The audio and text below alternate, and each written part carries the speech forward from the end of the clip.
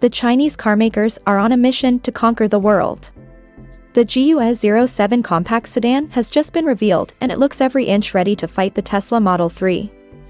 Internally codenamed Venus, the liftback is the result of the collaboration between Geely and Baidu. Officially unveiled in China, it already received the IF Design Award 2023 and became the Red Dot 2023 car design winner. The model will go into production in early 2024 and will hit the market sometime next summer. The car is underpinned by Geely's Sustainable Experience architecture platform. It is the same architecture that the Volvo EX90 SUV and EX30 crossover, as well as the Polestar 4, are also based on. The car carries over self-driving technology from Baidu, based on cameras and radars, but there is no LiDAR sensor in sight. Jiyue was founded in March 2021 as Jidu, a joint venture between Baidu and Geely, with the former owning 55% of the shares and Geely owning the rest. However, the joint venture failed to get mass production permission from the Chinese government, which led to the restructuring of the company. Following the restructuring, the entity changed its name to Jiyue. Now, Geely holds 65% of the stake.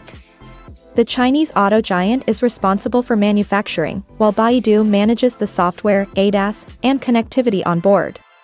Jiyue rolled out the first model, the 01 SUV, codenamed Mars, back on October 27, with deliveries kicking off two days later.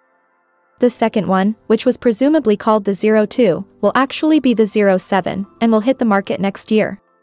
The model was previewed by the Jidu Robo 02 concept car, which was shown at the Guangzhou Auto Show in 2022 as a mid-size liftback with a sleek silhouette, fender flares, and a low beltline.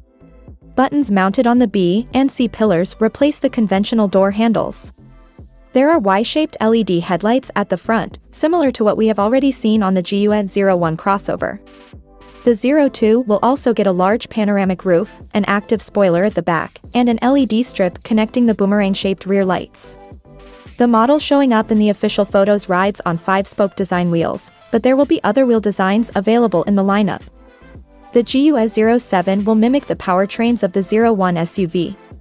The lineup will start with the single-motor, rear-wheel drive variant with 268 horsepower. This variant is equipped with a 71.4 kWh LFP battery pack. Meanwhile, the range-topping all-wheel drive will get a two-motor setup, one mounted on the front axle and another one installed at the back.